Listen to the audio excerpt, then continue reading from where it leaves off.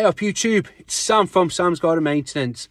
Now, as the title suggests, and no, I've not lost my mind, winter work. Yes, I know it's time to talk about it. But why, Sam? We're only halfway through this. We're only starting the season. What's up with you? Well, unfortunately, I'll, tell you the situation I'm in. Winters for me are always a stressful time. Uh, the last winter was actually okay, you know, muddled through it fine. Is this winter going to be the same? Probably. Is it going to be better? Maybe. But what happens if it's worse? You know, and I think that this winter is going to be better or as good as last year, and I'll, you know, take a bit of a back pedal. Well, I don't want that. I like to be prepared, and I think you guys should be prepared, and this is why I'm doing this video now. Because people worry about winter towards the end of the season. I worry about winter now. So for me, my winter sort of plan is starting now. It, to be fair, it starts at the beginning of the year in the sense that what I do is every month I put a little bit of money over so I've got money saved up for winter because I don't know what winter's going to be like. It could be terrible weather and I could have no work on. I could be in hospital. You know, you name it. I, I don't know what winter is. So I need to save for winter. And there's no point saving for winter at the end of the season because your work's getting less and less and less. And therefore your money is getting less and less and less. How it is now, my money's going up and up and up and up. So I need to save for winter, basically. Now, there's two things I, and there's other ways to boost winter work, but I'm going to give you a couple of different ways. Now, look at what work you've got going on now. Look at what customers you've had in the past. Can you push some of this work towards the back end of the season? And that's what I'm thinking of doing this year. Now, first off, what work can be done?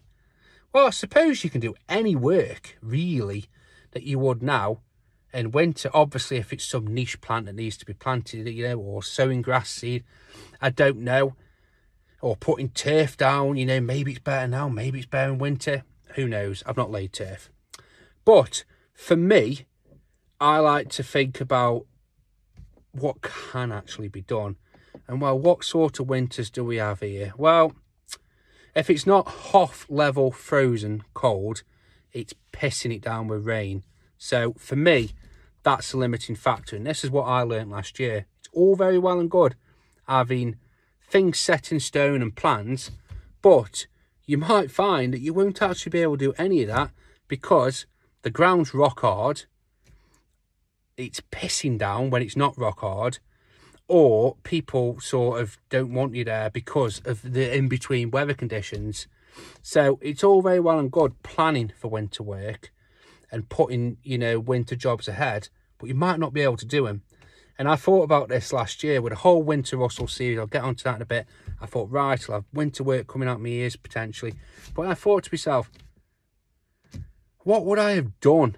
I would have had to put it off because there's just when it's absolutely lashing down for days on end and the ground is soggy, you know, so you know you're going to be there and bollocks in the ground up and getting mud everywhere. I don't want it if I'm being honest with you. That's why I'm glad I did the exterior cleaning because at least I'm on solid ground. I'm not, you know, doing border work in the rain and stuff.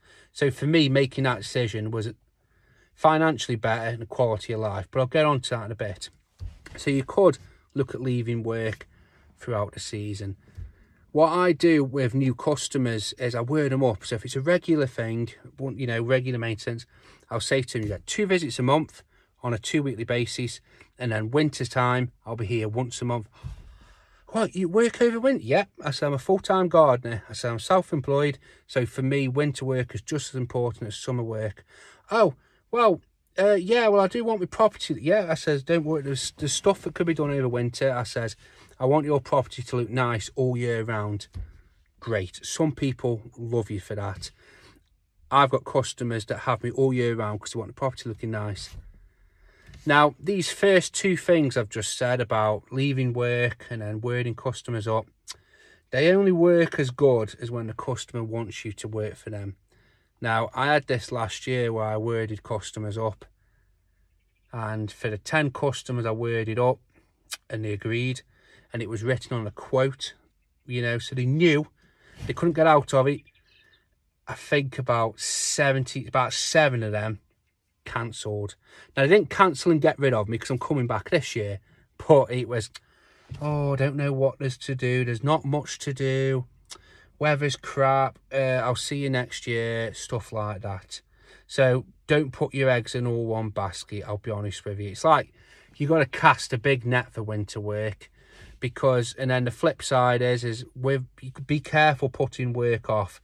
Weigh your customer up.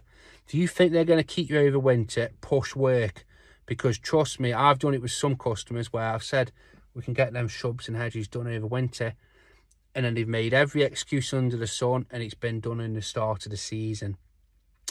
So just, you know, weigh that up because some customers, and it's weird, some customers you can cram in as much work during the season and they'll probably overspend and then they'll quite happily let it all go to rack and ruin. And then when you first start again, you'll be there chasing your tail, doing extra visits, extra hours, spending more of their money to get the place back up to scratch. But if they would have just had you a couple of hours a week, a month over the winter, they would have saved money. So people don't think like this. And I've tried to explain this and they, they don't get it. And I think it's because some people have this mentality of, I'm not in the garden, I'm not getting the benefit of it, I'm not enjoying it, so why should I spend money on it? Some people also look out for us, so they'll say to me, Oh, I don't want you, it's crap weather, I don't want you getting poorly or working any. Don't worry, I've got a million hoodies, a million coats in my van. I said, if I get wet, I can change into a new one. Oh, well, if you're happy with that. I've got some customers where, this is what I'm getting onto now, don't be afraid to take on different work if you like me and you start, you know, this is my third year now, so I'm very much still, I'm just getting there where it's, you know, getting good, getting very profitable, but, you know, winters aren't there for me. Now, I've done not anything, and I wouldn't say I've took on shit work, but I've took on different work than I would have normally. So one winter, first winter, I was helping one of my customers move house. She's a disabled lady, um, she hasn't got many family or any relatives around, so I was helping her move out. So I did. I think I did three hours a day. uh, I was emptying a loft. Fucking hell. I was packing her clothes up, packing her stuff up.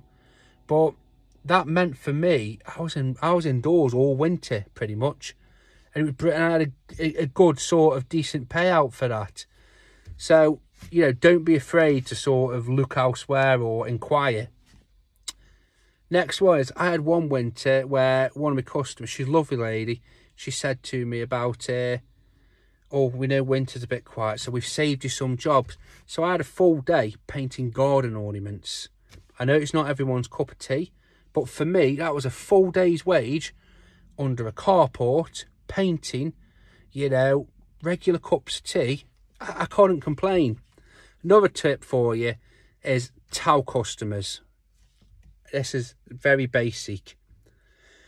But some people honestly think that we go to the Bahamas for four months out the year. You know, they think that we go away for winter and we don't work or we go back to our full-time jobs or we hibernate or fly south. So tell people you work over winter. Um, you've got winter slots available for tidy up, you know, board, anything you want to say, tell people. Because people don't think we work over winter. It's crazy. That's why I, I'm very honest with people that this is my full-time job and I'm a self-employed gardener in the UK. I tell them all this so they've got the facts and they know. Another thing or another tip I have is the Christmas cards. Because when you go September, October, November, you're off their radar then. But what I do is then I reintroduce myself at Christmas time. Well, you know, two or three weeks before Christmas. Knock on. Oh, uh, you're not here to see the car? No, no, just dropping your car off and I've got your little pot of jam. Oh, okay then. Uh, get get chatting with him, talk to him, look at the garden. God, the leaves have come back. I got all that. Oh yeah, it's looking ever so. Oh, it's looking ever so messy. Get it on their radar. Oh, um, I have actually got some slots of it. Do you want me to just give you a tidy up before? Oh, will you? Oh, see, you know, stuff like that. Now, the other one is I'm not going to talk about it too much because I keep banging this drum. I don't want you to think that I'm a one track person. Diversification. How about looking at doing additional services that are a bit more permanent that you can then offer all year round so it's another cash flow. So for me, I did the gutters, I did fascia cleans, power washing, I did a whole exterior cleaning business. There's plenty of videos on it. Now, I quickly found out that because people ask about gutter cleaning over winter, yes, it's profitable. It's profitable September, November, December, Oct- sorry, Oct- September, October, November. Then three months, bangers. December, you've got frosts. What happens when it frosts? The fucking stuff in the gutters is welded in. You can't get it out. Then you're having to make excuses. Then you're having to cancel. Fascia clean. Yep, nice and straightforward. You can do that on a nice day. Your poles freeze up. Your pole, your hose in the pipe freezes up. Your backpack freezes up. So you've got to keep it forward out. You thaw it out. You go to your first job. You've left the hose on the floor. The ground's frozen solid. It freezes that pipe. It's that cold and the pipe's only got like a 4 mil ID inside. It's very, very small pipe. That freezes. Then you're like, oh, for God's sake. You know, so this year with my exterior cleaning, I'm looking at doing hot water. So, you know, I've got that heat source, I've got that radiant heat, you know, I've, I've got something in place where the van, but we're going into a different conversation. But don't be afraid to take on additional services. Uh, but whatever you're going to do, start thinking about it now I know it's a fucking morbid thought. Oh, it's Christmas. We've not we've not even got through the season. We haven't. We've just had Easter egg day for crying out loud. But just bear it in mind. Think about it because whatever you do, you're going to need a pot of money behind you. So save for it now because when it comes too close, you know, it's too late then. So have a good day, guys. As usual, keep on gardening.